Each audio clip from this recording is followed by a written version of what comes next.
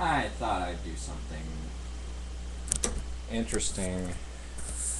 Uh, just for the hell of it. I'll look at some crazy stuff. Here we go. Alright. There's some internet fools on here on the internet. I'm the internet fool. Uh, since they can't prove you wrong, what they'll do is they'll use other methods of proving you wrong, such Yeah, as like logic. insults. Uh, they'll use grammar, such as they'll say you can't pronounce a word, so you're wrong. Or Mm. spelling, for example, Or you can't understand concepts, so you're wrong. say four plus four equals eight, and you get some fools that'll say, well, you spelled it wrong, so God doesn't exist, and they'll play the word game. So let's go ahead. The word game where we'll actually use definitions for things. I don't know. And oh well, stay tuned towards the end of the video. His own words will prove him wrong. This is gonna be great.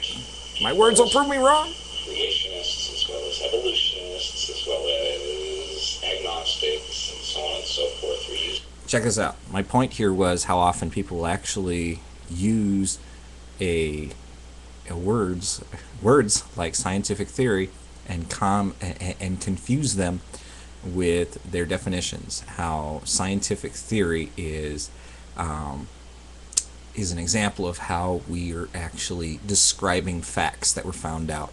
So the funny thing is, is when they say, "Well, it's just a theory; it haven't it hasn't been proven." It's like, do you realize scientific theory is the words we have for how we've actually described the facts? Hasn't been proven, but we've have the facts. Anyway, hugebane here is actually going to prove my point. How people will use uh, terms and not understand them and get them confused. Watch, he'll do it. in terminology that they do not have a grasp on. They don't know what the definition is. They don't understand how to use it and when to use it. Um, their confusion is Ah, going forward. because they don't understand. Before this guy goes on, let's look up the word theory. Watch this. This is Theory great. Is the analysis of a set of facts. The analysis of a set of facts.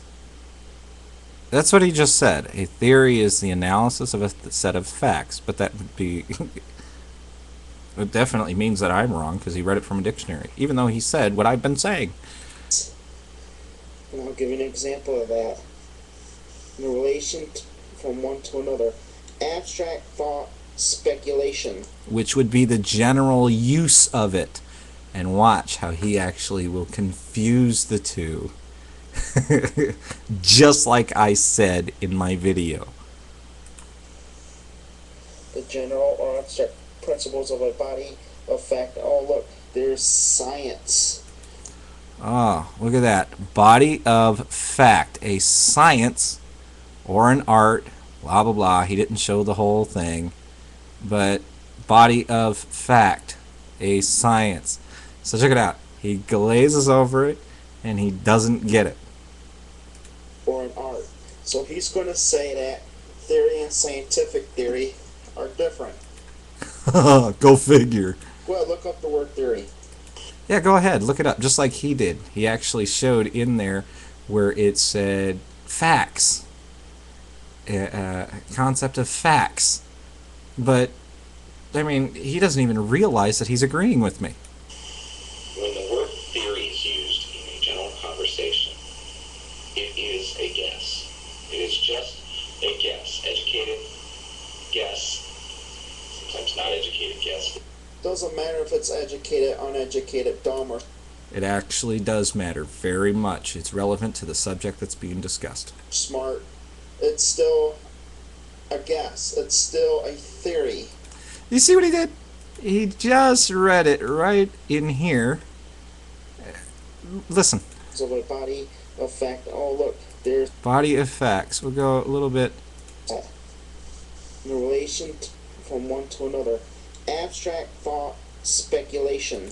Okay, so he read two different concepts of theory. You, you see that? He he doesn't even realize that he's agreeing with how I say that people will confuse the two. And he's doing it.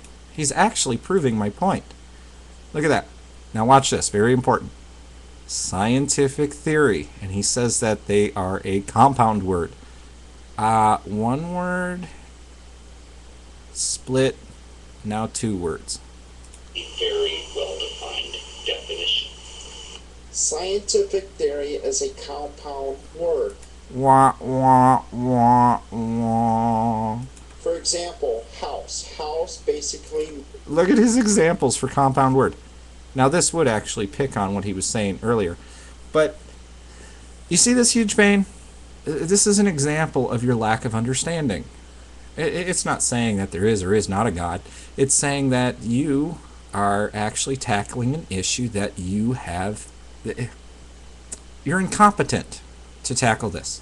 You're talking about a compound words, and then you actually show, you demonstrate separate words. You- You're incompetent for these arguments.